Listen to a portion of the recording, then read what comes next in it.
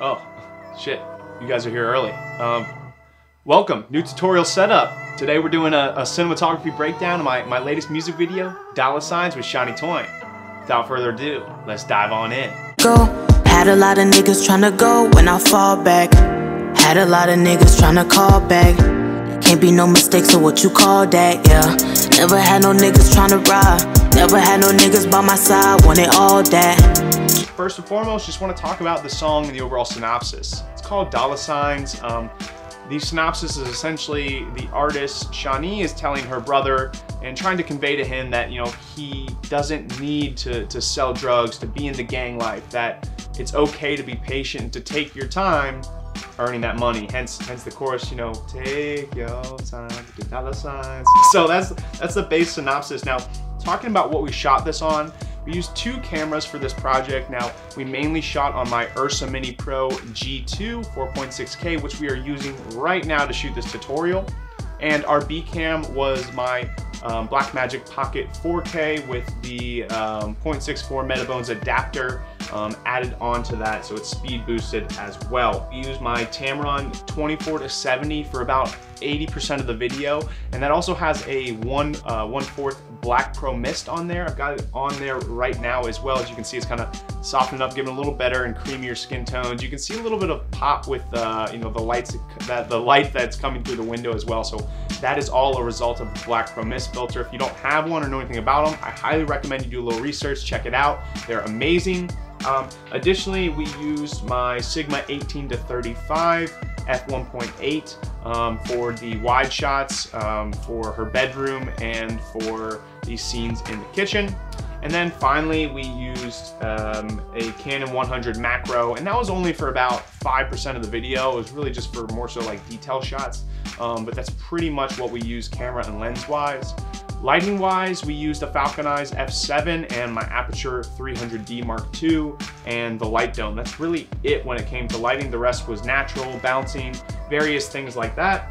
And this was all shot at 4K at 2398 um, except for a couple shots we did shoot in 60 FPS just so we had some nice slow motion for some of those B-roll shots. Now without further ado, let's dive into the various kind of locations slash scenes. So scene one I want to break down here for you guys is the robbery scene. This was all shot with natural light. Now we could have brought some light in there. You know, we, originally when we showed up on set, we kind of explored the idea of, of some bouncing. So bouncing off the ceilings, we kind of just fill the space and give it some more light. But at the end of the day, I decided to roll with all natural and for a couple reasons.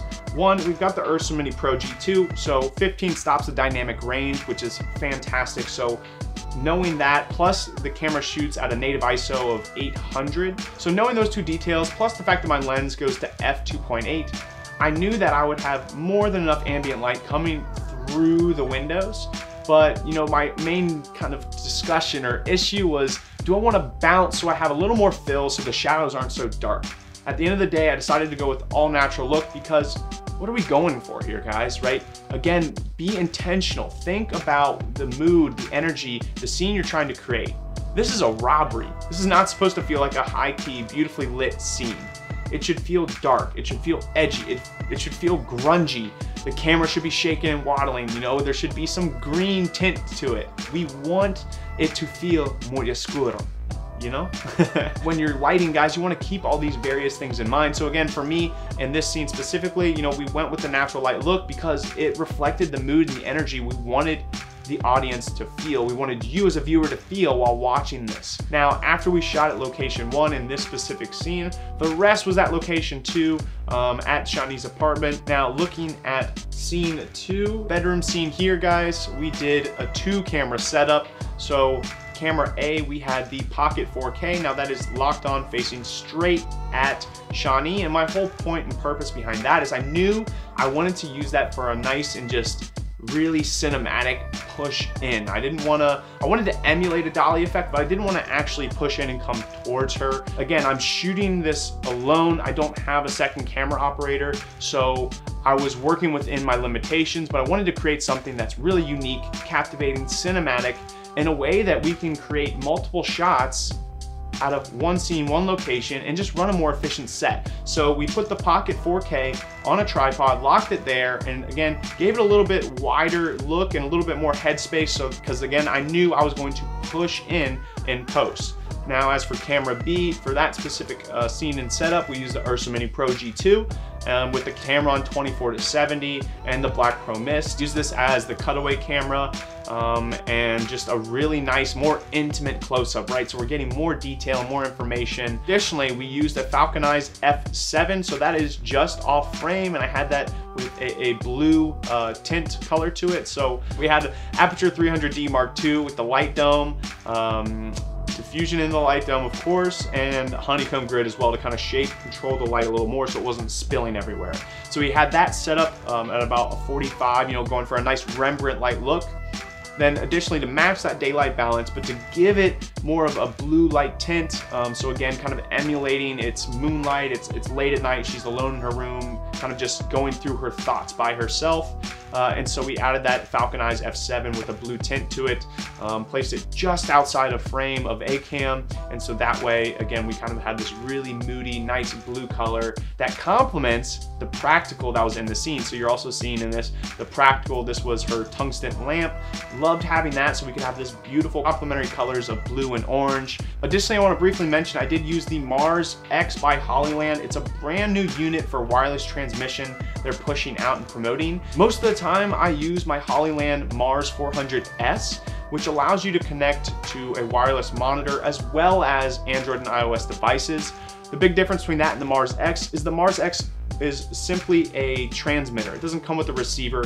It transmits the signal and you capture and connect it through your phone. And you can have up to three different wireless devices connected to it great unit to use and what I really love about having that is I was able to connect it to my Pocket 4K so then I could watch the image on display on my iPad and have that right by me so I can peer over and know when I'm getting into the frame of the shot with that B cam while I'm operating that and going for more of that handheld movement with, uh, you know, just a little bit of that sexy glide in the air.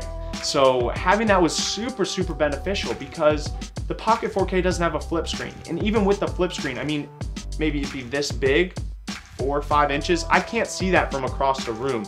So being able to put it on display on my iPad, have it right there for me to view was such a big help. It allowed me, again, to be vastly more efficient on set. We were able to get two shots in one performance take set, right? So we did two performance take sets and we had four different takes to pull from. Two from camera A, two from camera B, more than enough footage. Boom, we're out of that room. So that was the whole setup for scene look two.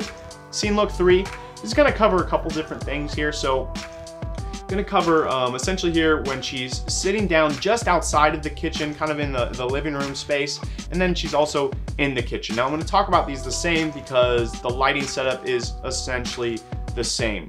So we're using um, the Eyes F7. We have again on a blue highlight. We're throwing that for a nice top-down look. So kind of taking place like it is the fluorescent lights that she has naturally at the, the, the ceiling of her building. Um, so we're kind of just, again, using it as a form of a practical. She had a beautiful practical, nice tall lamp. So I wanted that on, again, keeping with the flow and continuity of the colors. So we have blue and orange, very complementary to each other. And so we left that lamp on and in the scene. And for the part where she is, the phone is going off. Love it. Hopefully it's a business. No, not business. Okay, maybe next time. So we had those complementary colors, and, and, for this particular scene where she's just outside of the kitchen in the living room, we use the Aputure 300D with the light dome honeycomb grid, and again, put that about a 45 so we have a nice Rembrandt light look there. Um, just giving her some more light because the only other light we had in the house would have been ceiling practicals, which ugh, don't get started, so ugly. And we had natural light coming through the doorway, but it was just way too far away. So we used that for um, just some more light push um, for better key light. And again, we've got the blue light in the kitchen and the, the orange practical in the background. So we've, we've got the color scheme there. Lighting the space, right? We have this kind of more so wide shot. We're seeing them in the background, her in the forefront. And then specifically the scenes with her in the kitchen, talking to her brother, the exact same thing. The only thing is we moved the light dome from being by her and kind of in that living room space to right in front of her door and shooting up towards them as a, as a nice soft key light uh, in the kitchen space. Um, and, and so again, you know, we did that with a two cam setup, camera A and camera B. Literally the exact same thing guys. We used the mars x with my ipad um, connected the mars x to my pocket 4k so while that was sitting on a tripod shooting this way capturing um, you know everything that's going on in the kitchen area i'm filming this way capturing her doing her performance take um, from the living room space. And i'm having the ipad right by me. So literally as i'm shooting i can peer down and say oh i'm in frame. Oh, I'm not in frame, I'm good, I'm clean. Again, just helps me run a more efficient and effective set and allows me to really trust and rely on myself uh, a lot, lot more. So Mars X has been extremely beneficial in making sure uh, I got this production done effectively in an eight hour period being uh, you know the director and the cinematographer. Scene four, so this is kind of the, the corpse scene or the dead body or, or dying body scene. You know, I'll leave that up to y'all to decide, you know, if he's dead or if he's dying. Um, make sure this stuff don't turn off. I hate the, the monitor laggy thing. This is so, so similar to, to scene um, three. The only really difference here, guys, is we took the key light out. Didn't want the key. Um, I wanted this to feel, again, much more moody, dark, gritty. Um, I wanted you to feel upsetting. I wanted you to almost have to sit in closer just to see what's actually going on. So we got rid of the, the key light with the Aputure 300D and we used the Falcon Eyes F7 for that blue hue, um, nice top-down look. Um, that gave us pretty good light, but I wanted to stick with the color scheme right. And that practical that was originally in there, the lamp was just way too tall, way too big. So what I did is I went into a room, grabbed that original practical, that lamp, brought it in so it was right at eye level with her while she's sitting on the floor holding her brother. So it worked out just great. You know, it's right at eye level, kind of right there with her face. So I put it just outside of frame. And so we've got from this one side, this nice, beautiful warm light coming in, and from this other, this cool blue. And so very complimentary, very cinematic, cool, cool look. Really loved it. Um, and we used some fake blood, threw some fake blood on, on her brother and all over her shirt and on some of his skin. So again, it allows us to kind of really showcase that scene and just sell the idea that, you know, he was just shot um, a bit more, although we, we just used water guns. He's fine. He's totally good. And that's really it, guys. That's that's how we lit all the scenes. Hope you guys enjoyed. This has been exciting and fun for me. It's been a minute since I jumped back and did a tutorial, so happy to get back here and again share my knowledge with y'all um, and happy to do a cinematography breakdown. I freaking love, I love doing these, just like really working through and explaining my process. I hope you guys enjoy this as much as I do. I wonder if I get too much pleasure out of this. It's fun to, to work again through, through my thought process and be like, wow, you're not an idiot, Kyle. Sometimes you, you're actually kind of smart. All right, y'all, that's it for this week's episode. Hope you enjoyed. I am Kyle Loftus, aka Kal Visuals, and I'm signing out.